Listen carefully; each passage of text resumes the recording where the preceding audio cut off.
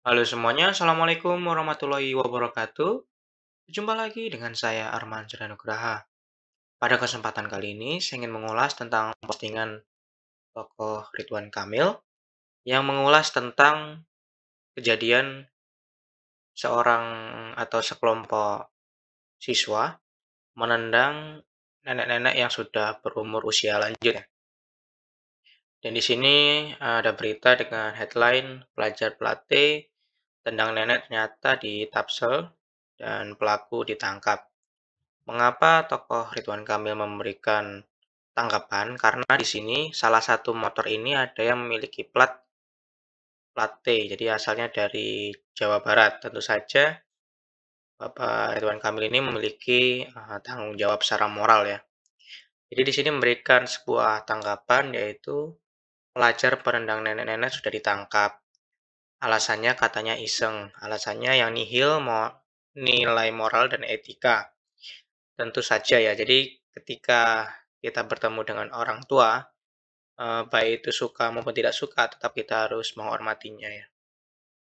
Apalagi kita tinggal di Indonesia, eh, seluruh tindakan kekerasan itu bisa dipidanakan ya. Jadi di sini eh, tanggapannya perlu dipidana atau dibina saja dengan alasan anak ini masih usianya di bawah umur ya. Dan itulah yang terjadi keprihatinan kita bersama. Pintar saja tidak cukup jika tidak dibarengi dengan akhlak ataupun pribadi berkarakter yang baik. Dan di sini sudah di retweet hampir 2000 lebih ya.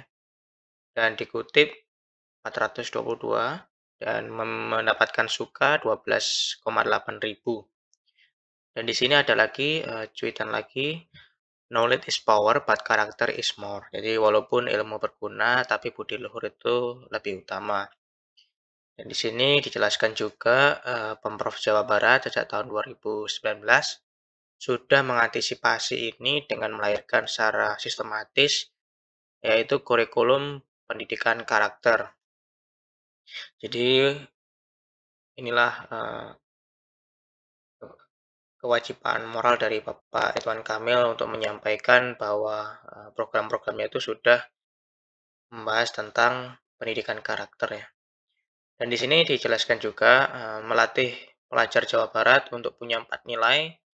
Yang pertama sehat kuat, cerdas pintar, berakhlak dan berbudi luhur, rajin ibadah. Empat komponen inilah yang membedakan kita dengan artificial intelligence. Mungkin ke depan kepintaran tuh lebih pintar artificial intelligence, namun untuk hal berakhlak dan berbudi luhur ini uh, sifat yang masih dipunyai oleh manusia ya.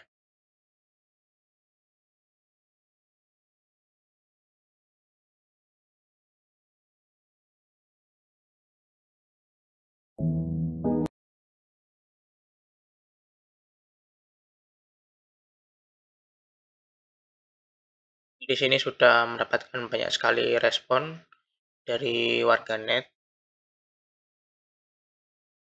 Dan saya herannya mengapa kok semakin ke sini semakin aneh-aneh ya untuk para remaja ini.